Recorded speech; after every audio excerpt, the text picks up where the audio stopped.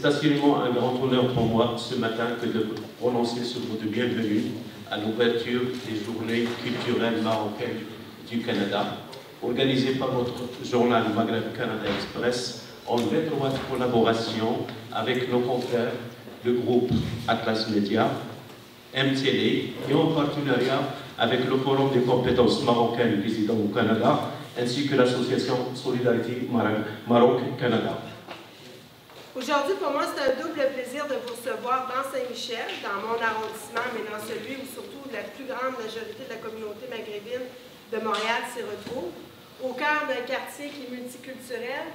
Dadaïs, je te reprends, c'est pas, pas, mon, pas mon plaisir de le faire, mais dans notre arrondissement, 115 communautés culturelles se côtoient à tous les jours de Parc Extension à Saint-Michel. Saint-Michel, on a encore plus de 60. Député NPD du comté de Saint-Bruno-Saint-Hubert au niveau fédéral et membre ou présidente du comité permanent de la commission euh, de la condition féminine au Parlement fédéral. Membre. Donc, Madame Zoé Dassaba.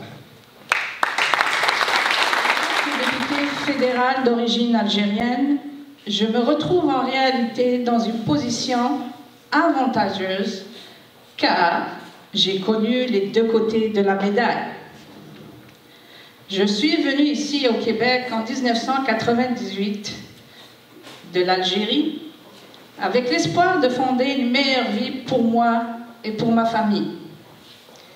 Et bien que le Québec et l'Algérie ont beaucoup en commun, comme la langue française, émigrer et s'intégrer, comme vous le savez tous, n'est pas toujours la chose la plus évidente. Voilà que j'étais dans mon nouveau pays et que je dis toujours et je répète que j'ai choisi d'y vivre. Dans une nouvelle société, avec un gouvernement et un autre professionnel qui ne reconnaissaient pas mon diplôme. En Algérie, j'étais un médecin Ici, tout simplement, une autre immigrante bien éduquée.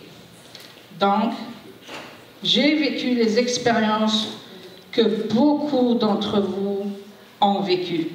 Le Premier ministre, euh, lorsqu'il m'a donné le mandat, parce qu'évidemment, on a beaucoup, beaucoup parlé pendant euh, cet entracte, si on veut, hein, qui a duré euh, 18 mois, vous savez, on a, tous été euh, ébranlés par un, grand débat. Ben, un grand débat.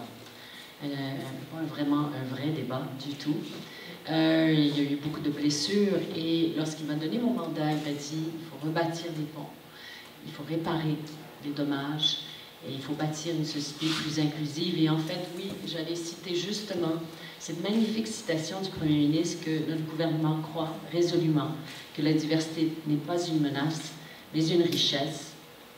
Le Québec grandit chaque fois qu'il accueille les rêves et les espoirs d'une personne venue d'ailleurs. Nous allons continuer de grandir ensemble en affirmant des valeurs communes. Je voulais le répéter parce que je vous dirais que j'ai le grand privilège d'avoir un Premier ministre qui ne cesse de répéter des choses magnifiques par rapport à l'immigration.